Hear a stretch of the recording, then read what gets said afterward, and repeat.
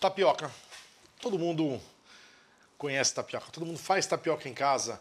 Legal lembrar que há pouco tempo atrás, 5, 10 anos, as pessoas nem sabiam direito o que é tapioca. Legal a gente saber que fora do Brasil muita gente conhece tapioca, mas não sabe que é um ingrediente brasileiro.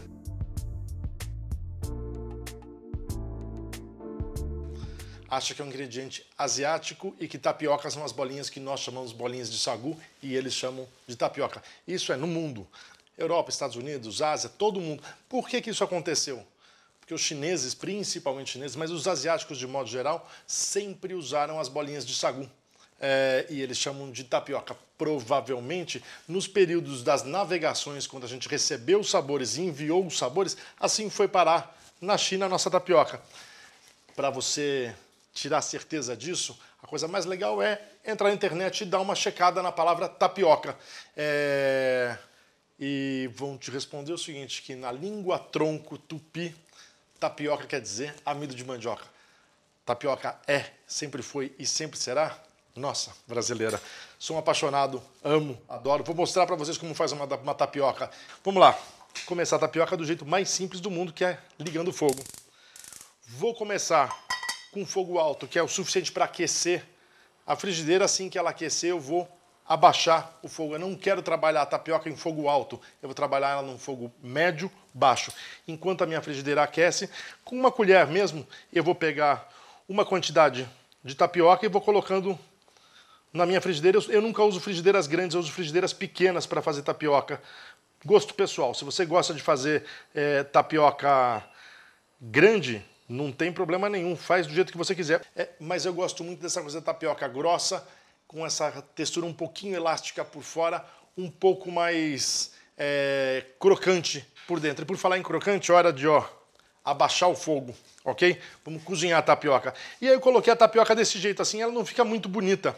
Agora, para ficar bonitinha, eu vou com a pontinha da colher aqui, ó, e vou fazendo assim com ela, ó. E eu vou dar um acabamentinho. Isso pouca gente faz na tapioca. E eu aprendi com as senhoras baniuas a fazer assim, ó. Elas que me ensinaram. Tem muito conhecimento tradicional das populações tradicionais brasileiras que a gente devia preservar, ajudar a conservar. E o melhor jeito de conservar é assim, ó, usar, ok? Eu vou aqui fazendo, ó, deixando minha tapioca bem redondinha. O fogo tá bem baixinho, então eu não vou ter pressa, eu vou deixar o fogo fazer o trabalho dele. Eu estou fazendo tapioca mais grossinha, então eu quero essa textura um pouco mais... A tapioca está quase no ponto, mas eu não vou ter pressa ainda com ela, ok? Eu vou botar a mão, as costas da mão aqui e vou sentir a temperatura. Uau, esquentou. Indica que está pronto, tá pronto. Mas antes de virar, eu vou pegar a mesma com a minha colher, mas vou pegar um pouquinho de manteiga. Eu gosto muito de colocar manteiga de garrafa mas não precisa ser manteiga de garrafa. Você pode usar manteiga como eu estou usando aqui agora, manteiga sem sal, e eu vou colocando assim, ó, um pouquinho por cima. Não precisa ser muito, ok? Tiro um pouquinho de manteiga, vou virar a minha tapioca. Um, dois, três e... E vou fazer a mesma coisa desse lado agora, ó. Um pouquinho mais de manteiga de cada lado.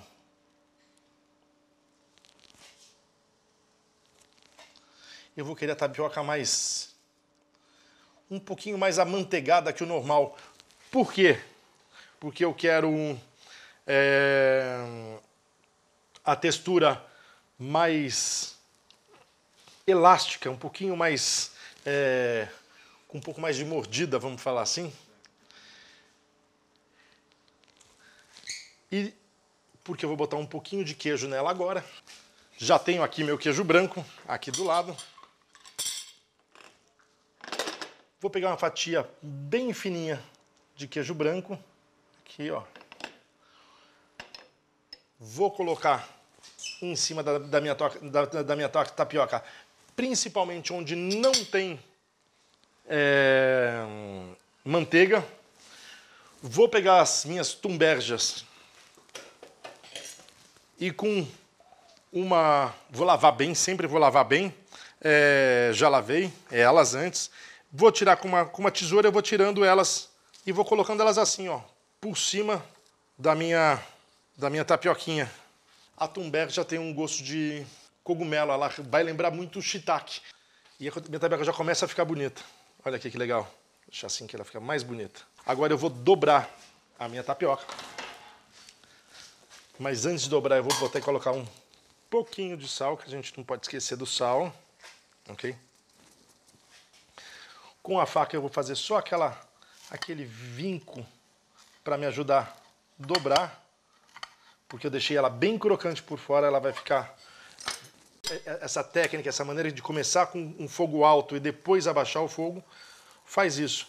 Agora, neste momento que eu já dobrei a minha tapioca com a tumberja dentro, eu vou voltar a botar fogo alto. Por quê? Porque agora eu vou só Agora, só com o calor da, da tapioca, eu vou cozinhar um pouquinho só a tumberja e vou dar uma sapecadinha, uma queimadinha no fundo da, da nossa tapioca e aí pronto.